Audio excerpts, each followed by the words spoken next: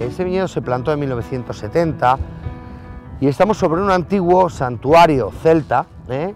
allí está el dolmen, justo debajo de esas encinas, que cuando llega el cristianismo en el siglo VI decide cristianizar el, lugar para que eliminar el culto pagano y se construye la ermita de los santos mártires.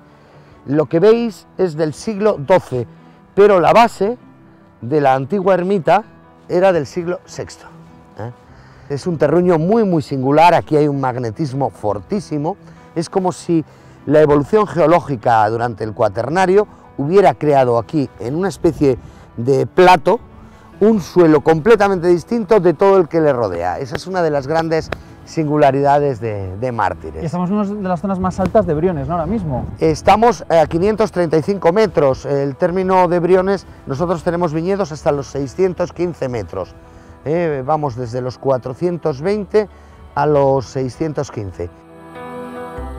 Yo siempre digo que en los vinos blancos los aromas son más puros aún que en los vinos tintos y la expresividad del terruño es mucho mayor. Y es muy curioso porque la mineralidad que en este suelo hay, mm, este suelo es una, una maravilla del cuaternario, que nada tiene que ver con ninguno de los que hay alrededor, solo hay dos hectáreas. Es lo que en Borgoña llaman un monopol.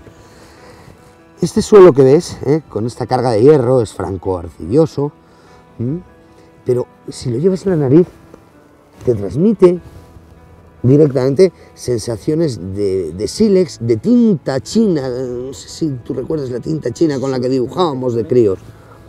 Bueno, pues todas estas sensaciones después verás que aparecen en el vino.